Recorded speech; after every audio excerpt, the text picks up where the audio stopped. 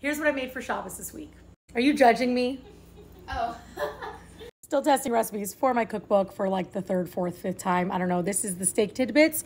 Too much meat went into this. I know you'd say too much meat. It's never too much, but there's uh, too much meat for the amount of sauce. And then this is my cornflake crumb chicken that's baked with Israeli couscous underneath. And yes, it is actually called Israeli couscous. It was invented in Israel and it's little pasta pearls.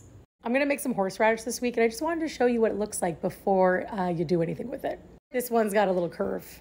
I made this other chicken. It's a little bit burnt on top, but honestly, it's gonna taste so good. Those are onions. I don't know what's in it though. I just used a store-bought sauce and then I added soy sauce to it and a whole bunch of other stuff. I'm making my barbecue brisket soup again and it hasn't even fully cooked yet. I just want to show you how beautiful it is already. And one of my testers recommended adding more green peppers, so that's what I did.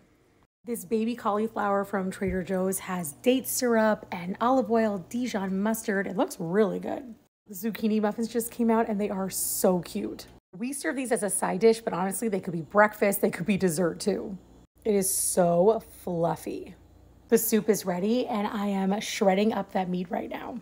And for those who are asking, yes, in the cookbook, I'm gonna make sure that the cuts of meat I recommend are universal cuts. Sometimes based on your region or based on some kosher cuts, they make up different names, but I'm gonna make sure that the names that you see in the cookbook you recognize. And I also have this other soup. This is the chicken and dumplings without the dumplings on top. These boneless short ribs just came out of the oven. I actually made them using my brisket spice. The spice is going in the book, but I also have it on my website now. And we're not gonna have all the soup for Shabbos. I'm gonna freeze a whole bunch of this so we have it for future Shabbos weekends and during the week too.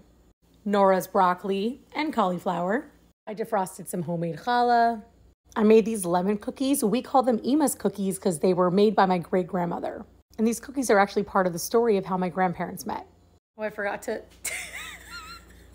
I forgot to show you guys this. It's my marinated cucumber salad, and we added some jalapeno to it. I decided to make this tropical mousse. It's actually for my friend's new cookbook, Real Life Pesach Cooking. And a lot of the recipes in here really don't have to be just made on Pesach. And this is the strawberry sauce that goes on top. And the last thing that just came out of the oven is this eggplant. I don't know what I'm calling it yet, but it's some kind of herby roasted eggplant. And it's amazing served with tahini. And I hate to disappoint, but I did not make the horseradish today. I'm gonna make it on Saturday night or Sunday.